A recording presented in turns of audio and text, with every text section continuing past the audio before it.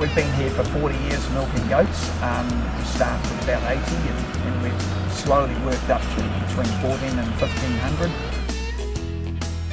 We um, send our milk to a co-op in Waikato um, and it all gets made into infant formula for babies and is exported all around the world. Last season production at mid-season was um, quite a way behind the previous couple of years. We were struggling um, from having food that wasn't up to um, the quality that our goats needed.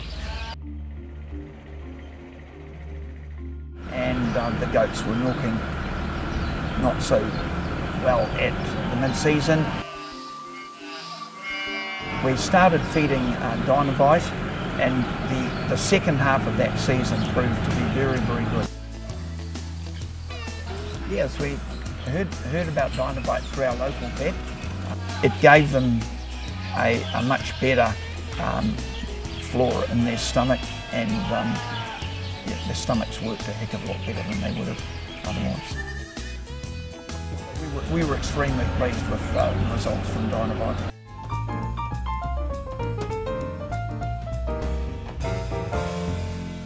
So these, these guys, um, we're pretty particular when we're feeding our calves each day that they get the right amount of milk.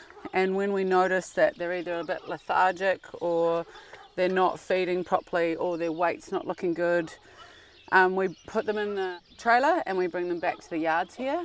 Um, and at that point, we'd lift the Dynavyte up to 20 mils morning and night um, instead of the normal five mils that we give them.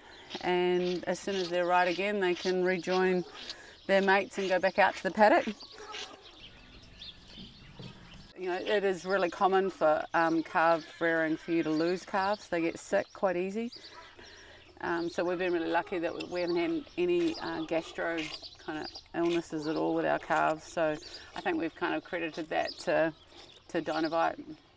Dynavyte it is a uh, prebiotic and a probiotic. Um, it's got anti-inflammatory components and an added immune boost as well. Um, so basically for all your gut health, it's a spore-based product, not like the other yeast-based probiotics out there. Um, yeast, yeast finds it hard to get through to the hind gut, where the spore gets right through to the hind gut. Basically when the calves um, drink it, they clot, it helps clot the milk a lot quicker. So basically, um, in the bug in the Dynavyte, the spore that we've got helps compete against your Rota, your Campylobacter, your E. coli and all that as well.